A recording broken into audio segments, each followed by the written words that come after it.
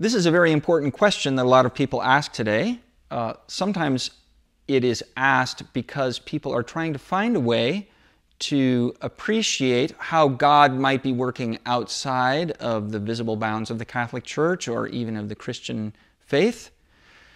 And they might try to say, well, perhaps the Holy Spirit works through Christ for Christians, and then apart from Christ is at work in these other religions to bring people to God.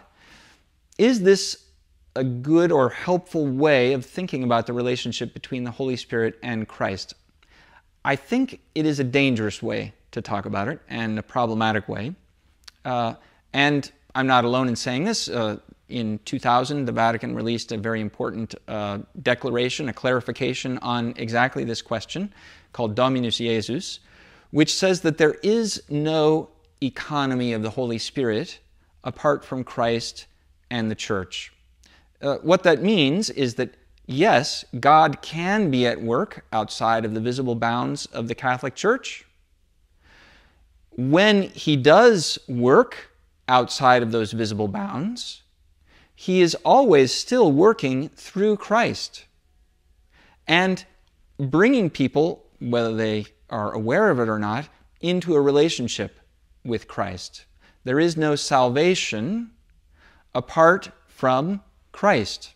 So Christ is the only Savior, and all who are saved are saved in virtue of Christ and through Him. So, uh, Aquinas gives us some very important resources to understand how this works as well. And for Aquinas, it's inconceivable to think of the Holy Spirit working apart from the Son and the Father. Why? Because they are one God. There is only one God, Father, Son, and Holy Spirit. Father, Son, and Holy Spirit always work together. They can never be separated. If we could posit that the Holy Spirit were working over here and the Father and Son were not working there with him, then we would have destroyed the belief in the Trinity. We would, in effect, be positing that the Holy Spirit is a separate God. And that is false. So, how do we understand the Holy Spirit in relation to Christ? Well, the Father uh, speaks the, His Word, the Son, and the Father and Son breathe forth the Holy Spirit.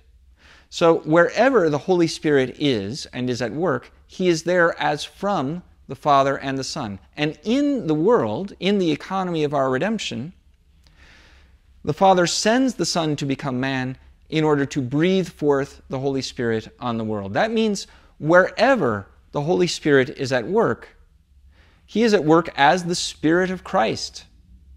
He is at work to draw us back to Christ, to conform us to Christ, and therefore to make us adopted sons and daughters of the Father, conformed to Christ, who is the perfect Son, the, the natural Son of God, we could say. So, does God work outside of the visible bounds of the Catholic Church? Uh, yes, that is certainly possible, and we know it does happen in some cases at least. In every one of those cases, it is the Spirit of Christ which is at work. And that Holy Spirit is drawing all those that it aids towards God, who is Father, Son, and Holy Spirit.